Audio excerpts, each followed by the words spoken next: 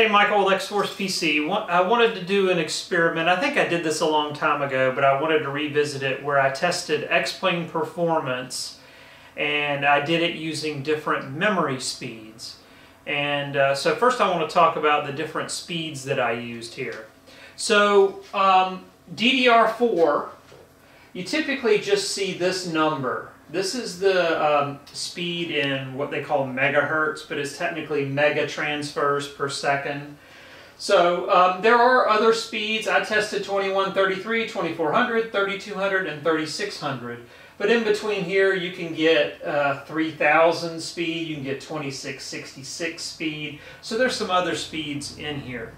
Now the other thing you don't see mentioned all that often is the latency. Now the latency is typically specified in a series of four numbers, but I'm just quoting the first number here in the, the series of numbers because it's indicative of the overall latency of the RAM.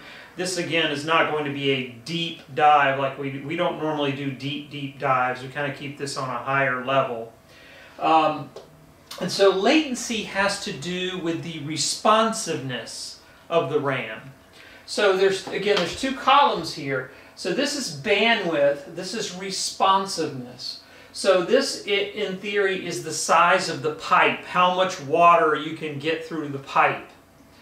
And then latency is the responsiveness. So if you ask for a particular piece of information, how quickly can you get it?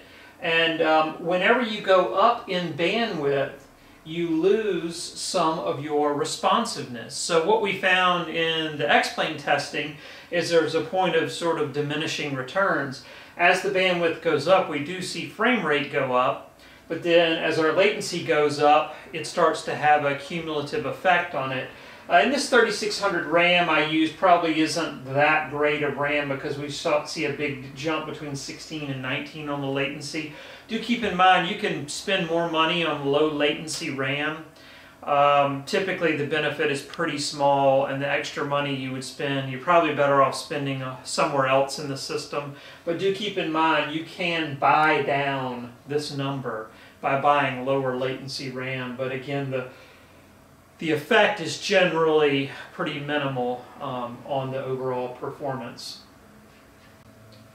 Now another thing we need to talk about is dual channel versus single channel uh, memory.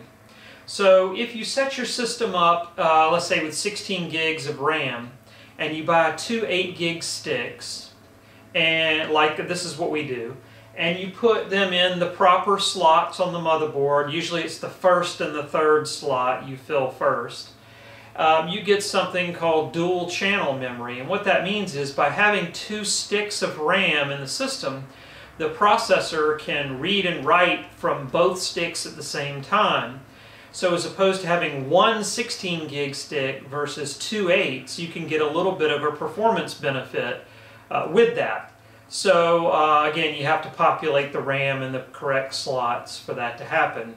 And so we'll also look at the effects of dual channel versus single channel uh, memory.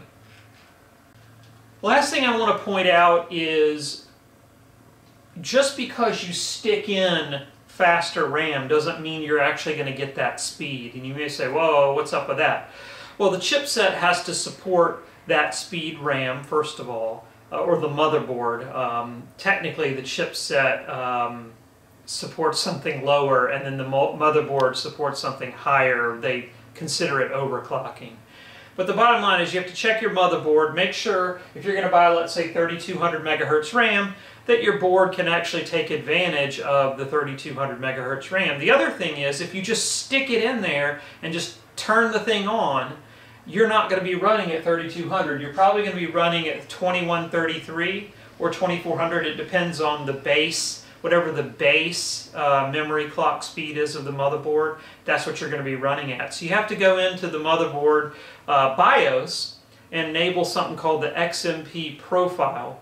Um, I should know what XMP stands for, but I don't right off uh, the top of my head. But it's the letter X, the letter M, and the letter P, XMP. And um, you turn on the XMP profile, usually it's profile 2, for your memory. And then if you have, let's say, 3600 RAM, you know, you'll see it's running probably at 2133. As soon as you turn on that XMP profile, it'll jump up to the 3600 or whatever speed that you have. But do keep in mind, again, buying faster RAM and then not turning on the XMP profile uh, really does you no good. You can also uh, probably get some software. Uh, I might make some recommendations later on in this video about some software that will actually report what speed your memory is running. That way you can be sure that you're actually getting the speed that you think you're getting.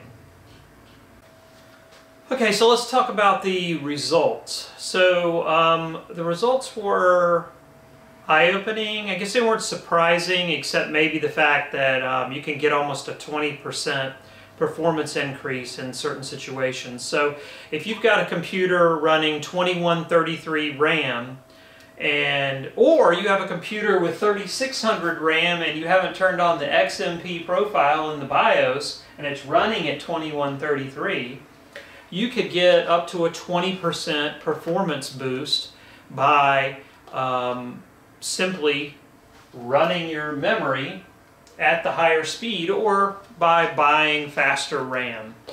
So, uh, by the way, to do this testing, I use the built-in frame rate test that X-Plane provides. I use test number five, which is, uh, they have like five levels, or maybe it's six levels of tests. And uh, anyway, I've used level five, which is kind of the, the high-end uh, built-in frame rate test. And then when you're done, you look in the log.txt file and it gives you a report of what your frame rate was. So, Let's put up the, the frame rates. Now first of all, you'll see that running single channel 2133 RAM, um, we were under 40 frames per second. And then you go to the other end of the spectrum where we're running, you know, 3200 dual channel or 3600 dual channel, and we're up close to 50 frames per second. And so that's a, a, really nice increase in performance. And by the way, we're using a high-end CPU here, the 9700K 8-core, and we're using an RTX 2080 graphics card because I wanted to take those out of the equation. So I wanted to use something really fast. That way the memory is the only possible bottleneck that we are having here. Um, so now let's look at the percentage faster that each RAM is, and I'll put that chart up now.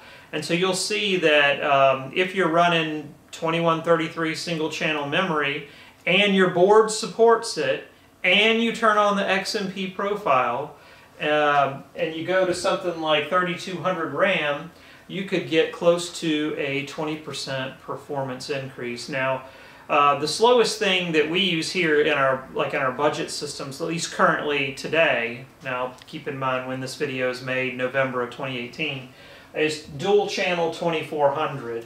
And um, you'll notice there's not a huge benefit between dual channel 2400 and some of the higher speeds. Um, but we're about to move to 2666 as our lowest speed RAM. So again, do your research. Um, just throwing in faster RAM isn't going to do it. You got to make sure your board supports it and that you turn on the XMP profile in the BIOS and make sure that it is running that faster speed.